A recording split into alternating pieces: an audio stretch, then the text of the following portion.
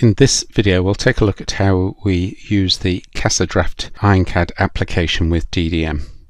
So I'm in IronCAD and I've created my scene file. Uh, firstly I'm going to store this back to DDM. So from the add-ins PDM integrator we're going to save this. And as we store it we will assign a number and description to it just using the DDM properties window. So this is a manufactured part, uh, a manufactured component. This is the number and because I want to create a drawing of this we're going to select to allocate a drawing with the same number as we create this 3D record and this is my bearing housing. Okay, so if we save that back to DDM and then if we take a look in DDM, so search and open, and if I have a look on my workbench, um, we can see here we've got the 3D model and a drawing related to it. So if we have a look at the 3D model at drawings, here's the drawing and if we have a look at drawings we can see we've got the drawing link to the 3D model. At the minute this is an empty record so if we look at the properties you'll see there are no file versions attached to it so what we need to do is to create a file version to attach to this drawing record and to do this we create our CAXA Draft drawing. So I've got a, a template created which we will use. Okay, so the template is configured to use attributes from the 3D model. So let's add a view. And as soon as I add a view, you'll see the, uh, the title block updates. Let's just project another view from this.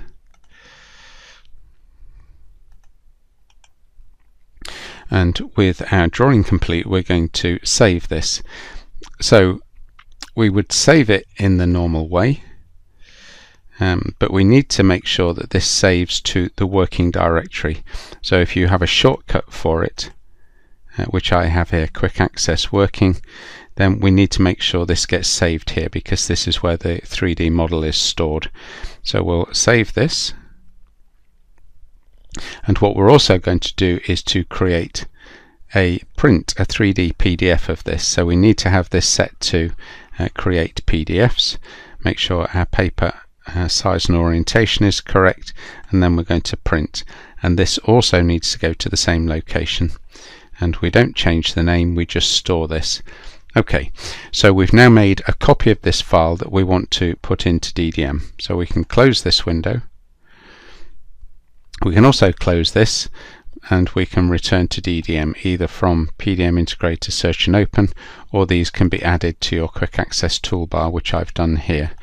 So we'll go into DDM and what we're going to do, we're going to open the properties of this drawing and we're going to open to our working directory so C Design Data Manager working on the properties we'll go to versions Here's the CAXA Draft file. We'll drag that here and we can clean it up from the disk. And the attachment is going to be the PDF, so we can attach that. Click on OK. Now the attachment is not automatically removed, so I'm going to delete that here. And now if I just refresh my screen, we can see that there is a CAXA Draft file attached to this, and there should also be a PDF preview that we can view. Okay, so that's the first step. Now we'll take a look at modifying a work in progress file that we've been working on. So I'm going to load this file and we're going to make a change to it and we're just going to put a hole through this 21 and we will drag this through the part. Okay so our part is updated.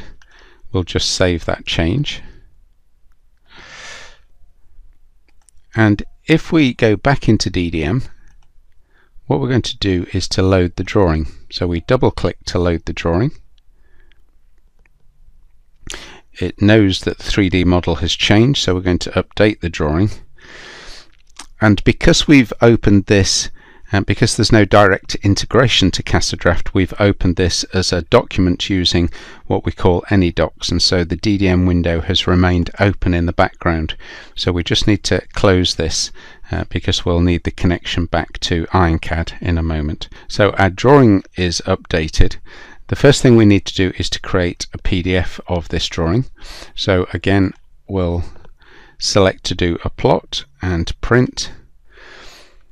Now because of the way that this CAXA Draft drawing has been opened, it's no longer in the working directory. Because it's been opened as a document through AnyDocs, we will find it in the Office working directory. And what we're looking for is the latest folder here. So these are, are temporary folders that get opened um, as we load the CAXA Draft drawing. So this is the, the one that we want to use. We don't change the, the PDF file name, we just select to save that. And now, if we save this back to DDM, we select the overwrite option, and our drawing is now updated in DDM. So we'll just confirm this by closing this. This is already saved. Go back into DDM, and if we have a look at our preview, you'll see we now have the updated preview in session. Now a consequence of creating or updating the CAXA Draft files in this way is that it has redirected the default working directory for for IronCAD. So if I return to IronCAD and if I create a new part now and we will just create a bearing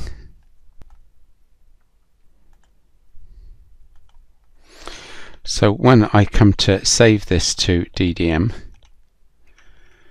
you'll see it's trying to save it to this temporary directory and we always need our new 3D scene files to go to the working directory so just remember to reset this as we do it.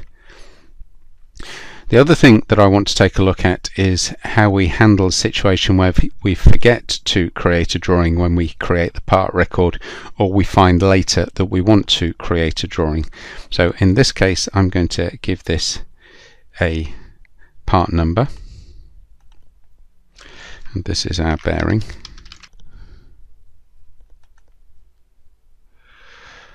So our 3D record has been created, but we have no drawing record created for this. So if we come back into DDM, here's our 3D file, and you'll see there is no drawing. So if we later recognize that we need a drawing, we'll need to create that manually. First thing we need to do is take a copy of the same number, and by right clicking in white space we can say create a new drawing. We'll paste the drawing number in and we'll give this the same number. So if I just refresh that, we've now got a drawing record created, but still it's not linked to the part record. So what we have to do is again open the properties of the drawing and go to the links tab and then we're going to copy and paste that part record into the drawing. So now if I refresh this and we'll organize it by name, we'll see that this drawing now has this part related to it. And so we're now in, in a position to create the drawing in the same way we did for the first item. The final thing we're going to take a look at is how we handle a new revision of a component and its related drawing. So to do that I need to release this because I can't create a new issue or revision of this until this has been released. So we'll do a state change on this and we'll set it to released. Okay, now they will disappear from my working directory but if I have a look in my recent items here's the item that we've just released and this time we're going to take the drawing and we're going to up issue the drawing and the model before we open them and make changes. So in the up issue uh, manager window we select the model and drawing. We say go to next issue and we're going to fill in a change reason as well. So this is linked to change order 2019 and the change that we're going to make is RAD's added to housing. Okay, so we can click on OK and we will have our new revision of the model and drawing which will also be in this case on my workbench. So the process is now going to be exactly the same as it was when we modified the existing part but we'll just go through those steps. We load the 3D model and we're going to add our new feature. So we're going to add a round to this edge and this edge um, and it's going to be two millimeters. Okay. So that's created. And we can save that back to DDM and in the same way as we did before we will go into DDM we leave the 3D model open and we will load the new issue or revision of the of the housing. Again it recognizes that this has been updated and we can see the drawing has been updated as well. Because I have it configured my revision history is also updated on my drawing title block with the change that I've just made. Okay. So same steps as before. We create our PDF preview. We'll print that and again this goes into office working and we look for the latest which is this one and we can save this. And finally we store the changes back to DDM so overwrite and our changes is made. So we can close this window close this window go back to DDM refresh this window